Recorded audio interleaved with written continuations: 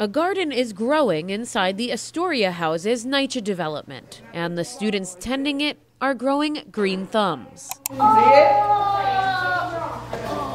looked like the emoji. It's a hydroponics lab, a partnership between the HANAC Astoria Cornerstone Program, New York Sun Works, and the New York Power Authority. It's all water based.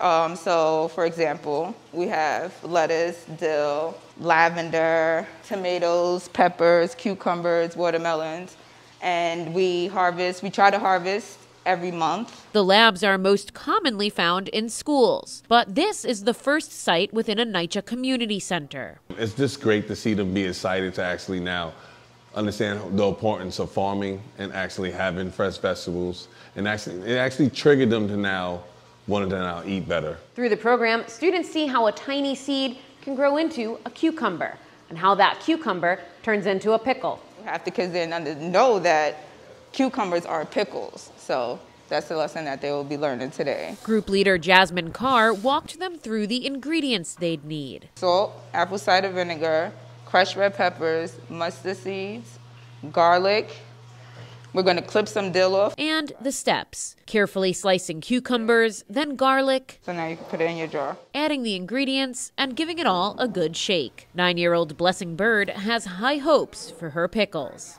I hope they taste like spicy because I like spicy stuff and like a little bit tangy because I don't like sweet pickles.